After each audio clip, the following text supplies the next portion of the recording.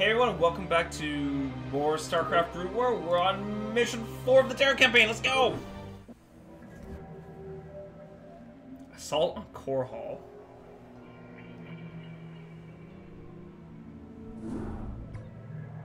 Captain, once again, your leadership has set a fine example to the rest of my officers.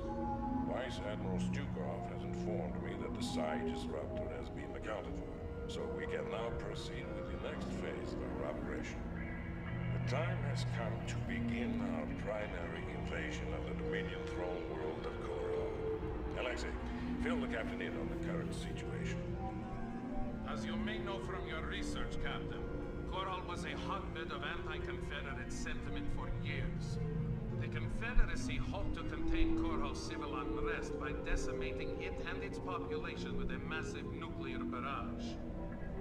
The radiation levels on the planet are at an all-time low, its surface is now nothing more than a smoldering desert. The catch, Admiral, is that because this world has already been devastated by nuclear fire, Mengsk has no compunction against using nukes on us. We have detected a large cluster of missile silos on the outskirts of Augustgrad. If those silos were destroyed, we believe that Mengsk would lose its core nuclear capabilities. We also face a different obstacle, Captain. Intelligence has informed us that Mengsk employs multiple battle cruisers for his planetary defense. It is possible to nullify these battle cruisers by taking out strategic physics labs. Without these labs, Mengsk will be unable to power up his ship's weapon systems. Though we know how to compensate for Mengsk's defenses, we don't have enough time to follow through on them both. Therefore, Captain, you must choose to either counter his nuclear capabilities or his battle cruisers. Once you've taken care of this operation, we can begin to plan our final assault against Augustgrad. Alright, you heard the man. Options, speed, sound, you don't mess around with speed. Not in the slightest. And that should be in. Alright, let's get into it. Um, I am very unsure of how I want to tackle this. Uh, well, I know what I want to do. I want to destroy the nuclear labs. Like, I don't want to deal with nukes. Like, straight and simple. Battlecruisers are much more okay fighting because, um, meh. They seem pretty trivial. And I remember the last time when I did this on my, like, original Brood War campaign, I did mech. I might do that again, depending. I'm not sure though. It's hard to say. You have a lot of minerals. That's good. Let's get some infantry upgrades to start off with. Know. Maybe we use infantry. I'm not. I'm not sure, man. There's a lot of ways we can take this, but um, one of the reasons why I like this mission is because they give you choices. So it's like you can either destroy the physics lab, which I think are up here, or the nuke silos, which are down here. Uh, and whatever you choose to do will have an impact on the next mission, which I think is awesome. Um, which I really like that. I kind of wish in StarCraft they did more of those kinds of missions where it's like, oh, here, you can either choose to do this or that, but it's going to have consequences for the next uh, mission. Like, meaningful choice in games is something I'm really uh, passionate about. It's simply because, like, I, I feel like it's, um...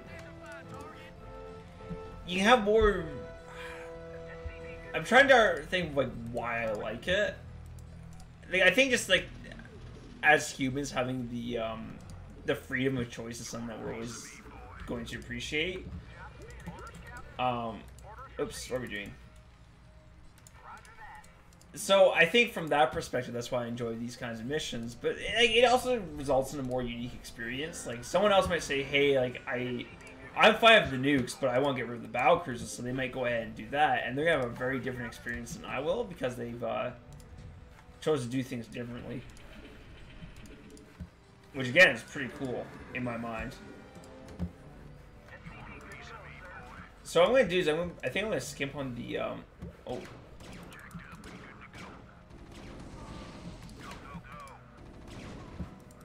Blue, I can say blue Confederates. Blue fire bats. Gets mining. So I think we're gonna be using uh, using a lot of infantry is, though we haven't really used mech. No, we'll do mech next mission. We'll do mech next mission. Don't worry, we'll do mech next mission. Um, that's what I think we'll do infantry. Actually, let's see if we can do exclusively infantry. We may not, we may not be able to though. State the nature of your medical emergency. And I think so. The thing for this reason why I like this, uh, the choice they gave us here is because it seems like it's a meaningful choice. At the very least, like I think some games they give you the, the illusion of choice. Like so, for example, for this one's like, oh, there's two, there's two victory conditions. Um, but no matter what you do, the next mission is going to be the same mission anyways. Um,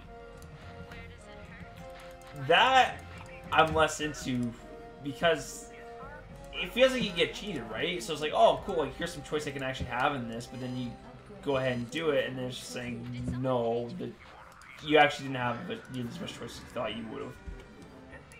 Also, we're gonna push out once we get a full, uh, full group of Marines here.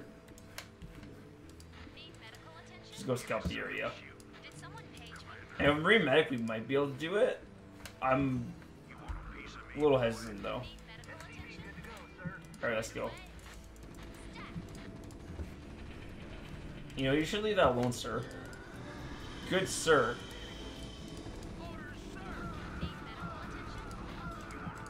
Alright, I guess we'll just like going this way then. Uh, and we can get fire bats. Wouldn't be opposed to that. I want more SCVs though. And I want to find another base. What's up here? Three tanks. Well, we're not going there. We are going to leave those guys alone. We're not even going to consider attacking them, to be honest. That's just going to be, a, that'll be a mess.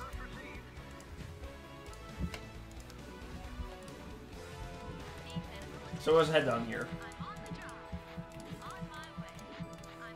And I think it's always like it's hard to give players a lot of choice, like a lot of like quote unquote meaningful choice. And you might say it's like even though they only had like the mission objectives and the end result was like you end up in the same mission anyways, you might say like that's um, still meaningful choice because it gave you a different way from completing the mission. But um, it doesn't feel nearly as impactful. Look at that, that looks like a sandworm. Wait, is this it right here? Okay, well, there's an expo here.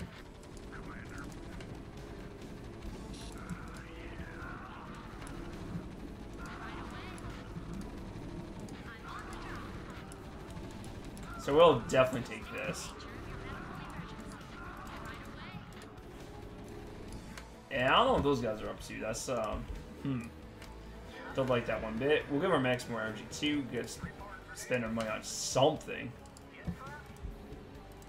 Um, because the, the more choice you give, the more exponential of um, branches you'll have for said choice. Like, so for this mission, because they gave me two choices, the, the developers had to program an extra mission for that. So even though like the Terran campaign is only like X amount of missions long, because we have choice in this mission, now they have to do an extra whole mission, which, um, you know, that's not that bad. But then once you start to think about it, if they went further, so the effects of this mission they only have an impact on the next mission. They don't carry over till like the next mission after that. So for that reason, it's like okay, you only have to worry about mission, you know, the next mission, uh, which is fine. But once you get further, so if we had, oh dear,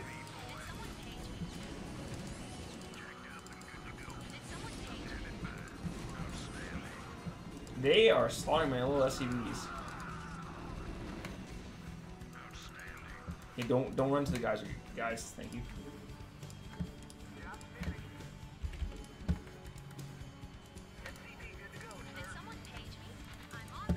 And then you can just land there, and we're gonna need a lot of men to take their uh, their base. That's how it is.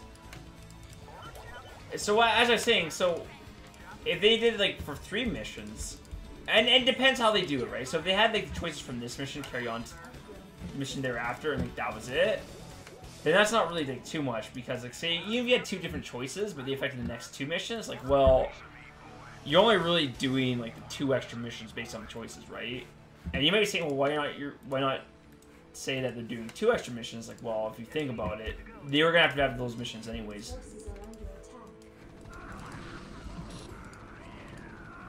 For the um. Oh, what was I saying? They were, they were gonna have to have those missions anyways, because you know players are gonna play those games.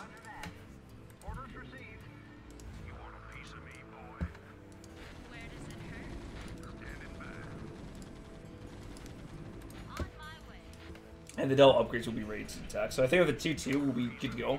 But okay, here's where like things get exponential. So if they had choices, so let's say we have the three missions. You have choices in the first like two. Let's actually let's keep it simple, right? There's two choices you can make in the first mission, and there's two choices you make in the second mission. They all have an impact like on the next mission. So I'm something like mission three. So then once you get to mission three, you can have so well let's let's go through this in sequential order. So for the first mission you have the two choices. So you're gonna have two different like missions for mission two. We'll call it mission b for simplicity. So you'll have to have two missions for mission b. But then mission b has two different things that you can do for mission uh, c. So already so mission B, there's gonna be two different levels, but then for mission C, you're gonna have to have four different levels for all the choices that you could have. You will send us over some extra marines. Do we have any medics coming? Yes, we do. Just so that we don't end up dying. And you like with. Whoa, hey there. I didn't realize he was so close.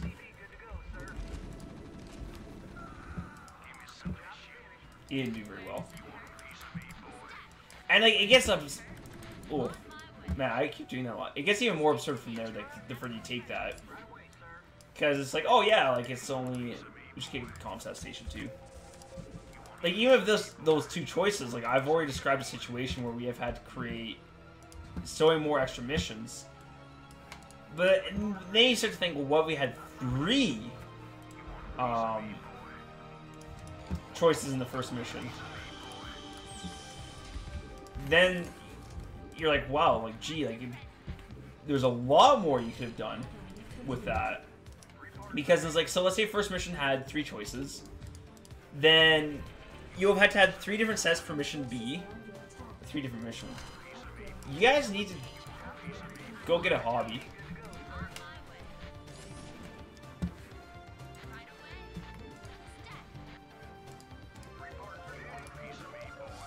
We'll actually build a missile turret.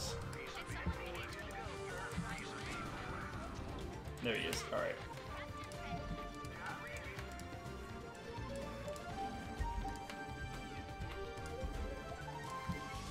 And more marines.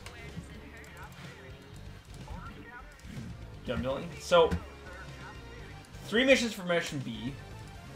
But then you have like two to three, each with like two different outcomes. Um, three choices, each with two extras. So then yeah, you open at six, and then the further you go, the like just the more outrageous it gets. Like it's um, it's absurd. All right, we're gonna attack with all of this and see what happens. If they have tanks, we're screwed.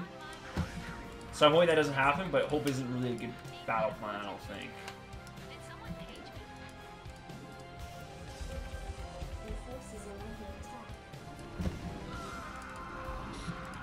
Yeah, so they have tanks, so we're, um... I don't think we're gonna be able to break this, in all honesty. We're gonna throw a lot more marines at it. Or or unless we, like, start doing stuff like this.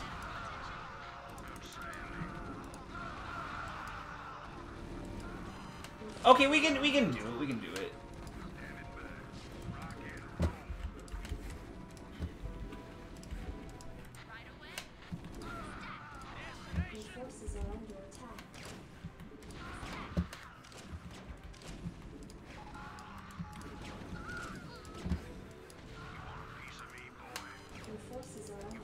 So admittedly, they did a little better than I thought they were going to. Oh wow, my base is getting pillaged, isn't it?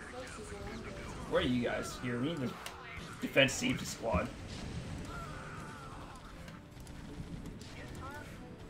That's fine. Everything's fine.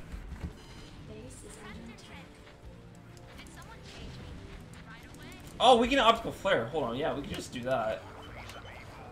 Where's the academy? Here it is.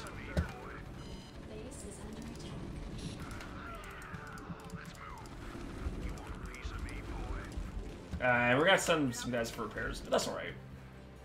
Yeah, I totally forgot we could use optical flare stuff. Doi. The Doinga.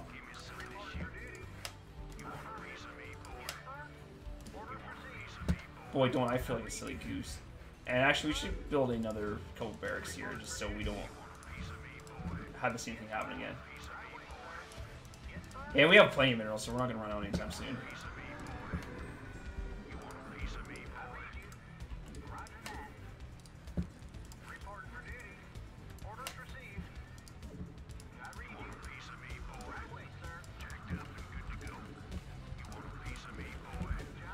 And once optical flare finishes, we're gonna be in a very good spot. Because all we just need to do is blind the tanks, then don't have to worry about them. Boy, don't I feel dumb. Yeah, I, I can't believe I never thought of that.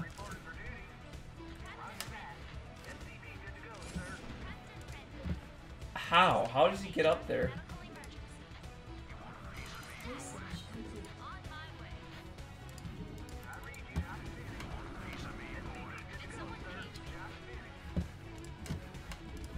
Well, whatever. He's gone now.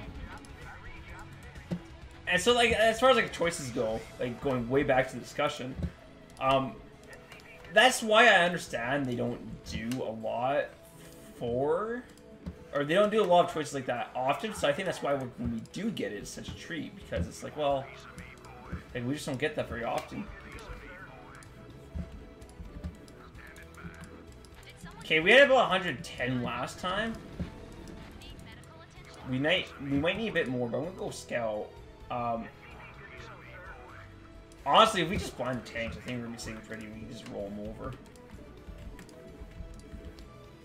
Your forces are under attack. All right, so we have no idea what they have over there. Um,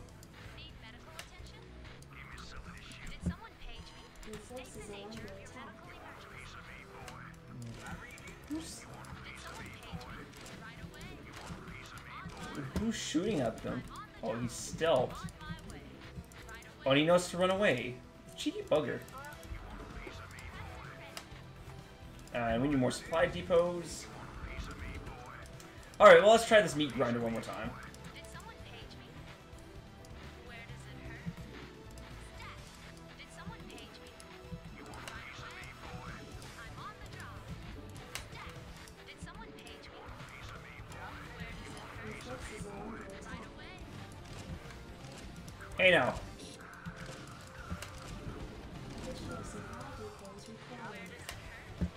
Medics in the um.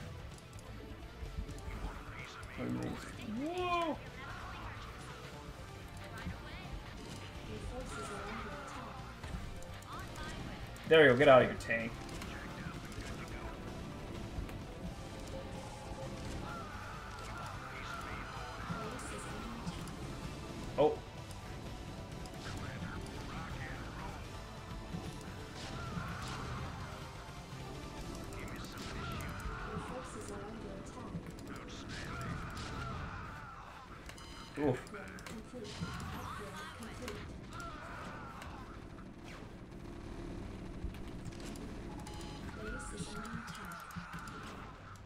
Actually, I think this is gonna be a pretty short mission. And everything's falling apart. That's okay.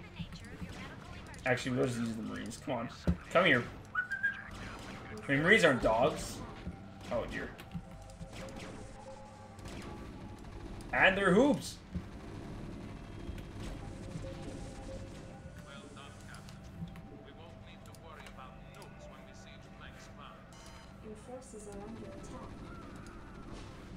cool, victory. That was a very short mission. I thought it was going to be taking us a lot longer than that, but no, we... It's Marsara. What? That's weird. Anyways, thank you guys all for watching, and I'll see you guys next time.